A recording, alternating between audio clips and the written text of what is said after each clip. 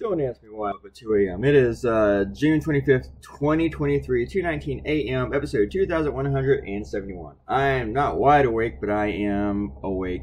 Um, so, I went to sleep super duper early, and then I woke up at 2. So, that's, that's the only way to put it. Now, alcohol was not involved. There was none.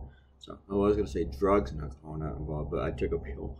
Um, so I did, did, did, did. This is what's happening, and it still wasn't really sure what, what the Wagner group was out for. The Prigozhin dude, um, except I think he was trying to scare uh, Putin and uh, the, the, government. I don't think he actually intended to take it over because I don't think he could have. Uh, Moscow is a really, really, uh, really tough city to invade.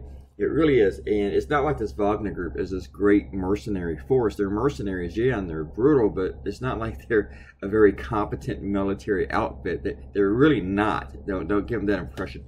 Uh, so anyway, uh, let me talk about the artwork. Uh, as you see, I, I, had one thing going, and then when I was done with the cartoon, I thought, you know what? I changed my mind. I, I think it should be more like Putin. It looked, it was supposed to be Putin the first time, but I thought it needs to be, it needs to really be Putin.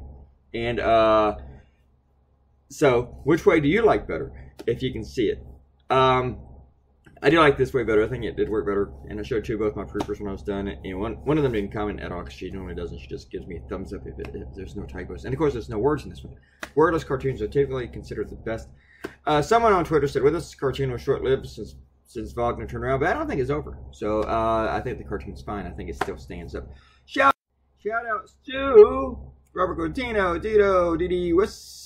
Sparky Berry, Master Screen, Vona, Taro, and Sasha. Sasha said the tricky part of the last cartoon is that reality may turn out to be more ridiculous. Dude, this has been my life for the past six fucking years. Are you kidding? Anyway, guys, have a good Sunday.